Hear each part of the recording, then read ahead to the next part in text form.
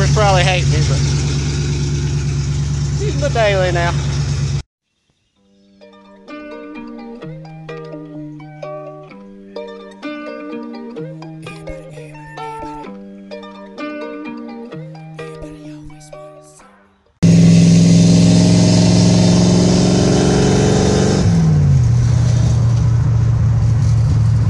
See, I thought I was doing something because I daily drive a 66. Then the old man has to pull up and stun on me. And we went sideways real quick. It's back in the day when this was cool, so was Bud Light. Time to go home, Phil. What a Monday. Didn't really get a whole lot done, but got something done. Get out of here.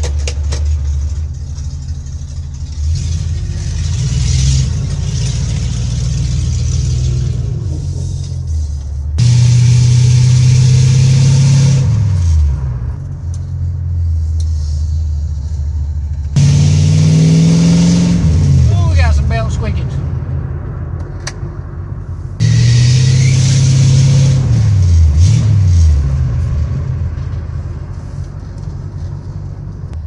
You drive a classic car on the interstate? Oh yeah, no problem.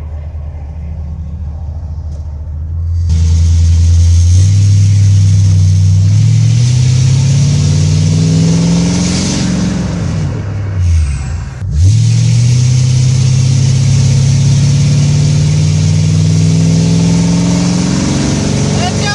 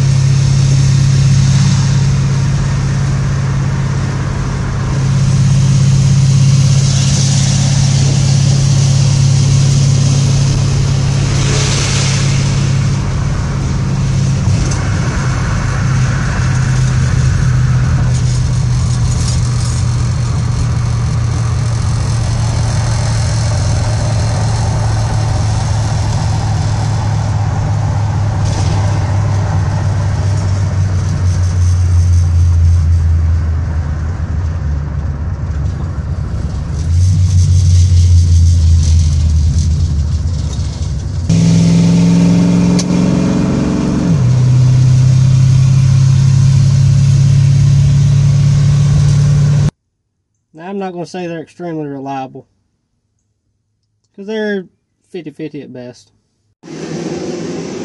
Oh,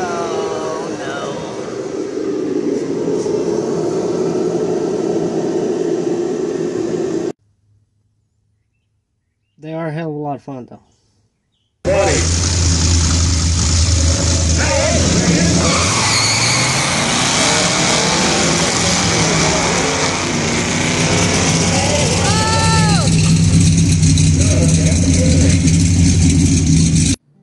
I guess what I'm trying to say is you don't have to have a whole lot of money, maybe a little bit of time to get one of these old cars back on the road. Make sure they got brakes, make sure they can run and drive. And a lot of the times, you can use sheet metal screws and duct tape to put them together. But I tell you what, there's nothing like driving one of these old things down the road especially one that means something to you. So if you got an old project out there,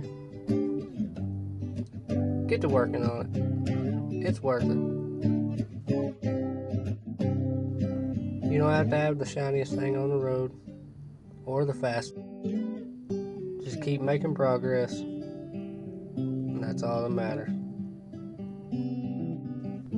Because I know for sure I got a bunch of them, and ain't none of them done yet.